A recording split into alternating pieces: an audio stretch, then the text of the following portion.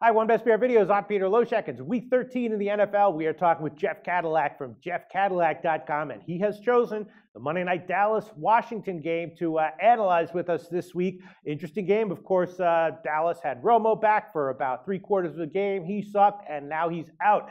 And uh, Matt Cassel back for Dallas, Washington, playing pretty well. The offense uh, uh, getting it done at least uh, enough to recently, and, and, the defense playing pretty well as well. They are a four and a half point to home favorite right now. The totals all over the place 41 and a half, 42, or 42 and a half. I'm leaning uh, Dallas getting four and a half, and I'm leaning over at 41 and a half. I have a feeling Jeff Cadillac's going to tell us why he likes Washington. Tell us, Jeff.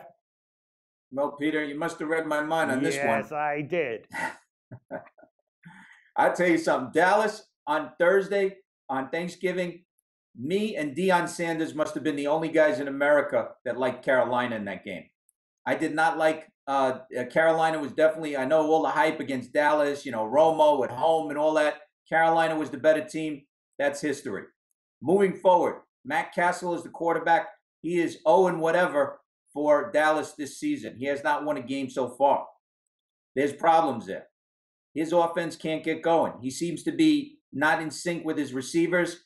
The offensive line has problems. He's been sacked. He doesn't get the ball out of the way, and the running game is basically shut down. You also have for defense. Where's Greg Hardy been? Since that game against New England when he was shouting his mouth, he's been uh, a, a no show the whole way. Hopefully for Dallas, he's a big distraction. He'll be gone after the season. Dallas also not a great away team believe it or not. 22 and 34 against the spread in December.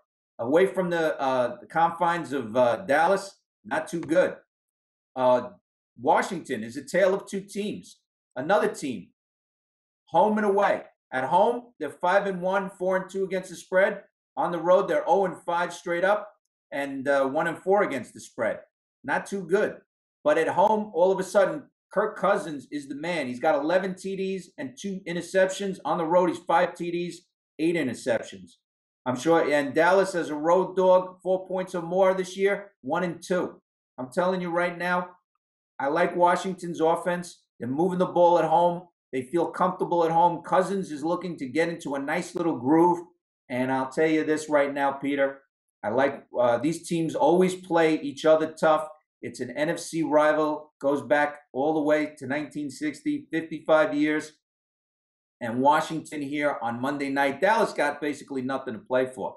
But I like Washington. Lay the points at home on Monday night. It'll be a close game, but Washington should win by more than the spread. All right, Jeff Cadillac predicting a close game in Dallas, Washington, and giving out Washington minus four and a half as a good bet to bet in that close game. I'm liking the over, whether it's 41 and a half or 42. Jeff Cadillac, give us a, uh, a, a, a plug for uh, jeffcadillac.com.